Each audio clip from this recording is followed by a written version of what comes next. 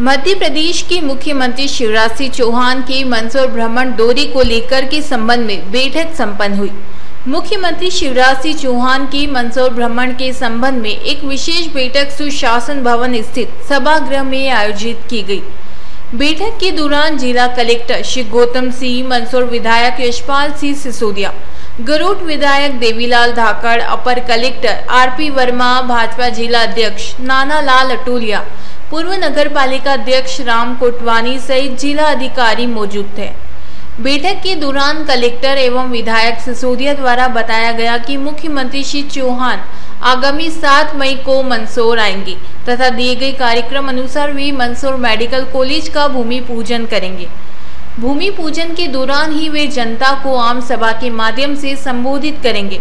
इसी दौरान मुख्यमंत्री श्री चौहान को ज़िले में किए गए नवाचार भी बताएँगे। इसके पश्चात सिंधु महल, रिसोर्ट का भ्रमण तथा राजपूत समाज छात्रावास का भूमि पूजन व सहज शिवलिंग की प्राण प्रतिष्ठा करेंगे। इस दौरान कलेक्टर ने सभी जिला अधिकारियों को आवश्यक तैयारियाँ करने के लिए दिशा निर्देश भी प्रदान किए हैं।